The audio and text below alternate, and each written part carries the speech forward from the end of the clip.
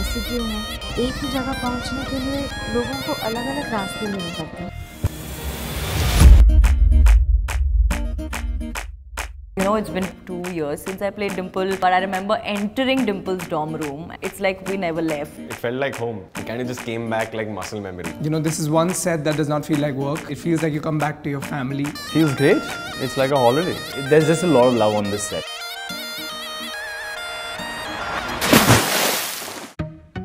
I remember in season one, uh, she knew what her future was supposed to be and she came very strong-headed, knowing exactly कि उसने क्या करना है. Season two में मेरे ख्याल से everything gets challenged for her. Now she's trying to navigate her way through a whole lot of problems that she didn't expect or need. We now see Rishi in a slightly different, jaded space where maybe he's even questioning the entire concept of, of love and, and relationships. I think his journey is that of an evolution of a teenager. Suddenly, there's too much for him to handle. मैं जाऊँ? अब एक दूसरे को tolerate करने की आदत डाल लेनी चाहिए नहीं People, I think all the characters are being pushed into like different directions.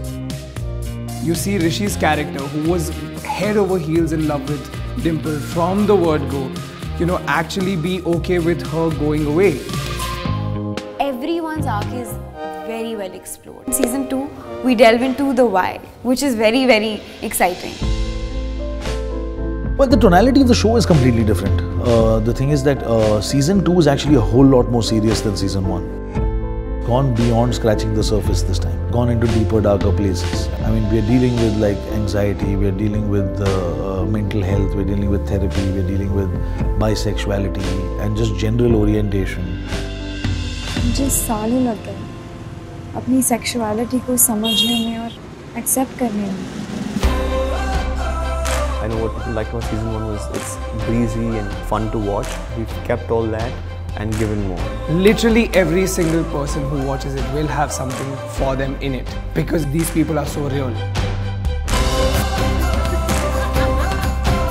Her journey is just finding her way through this roller coaster of drama and emotion.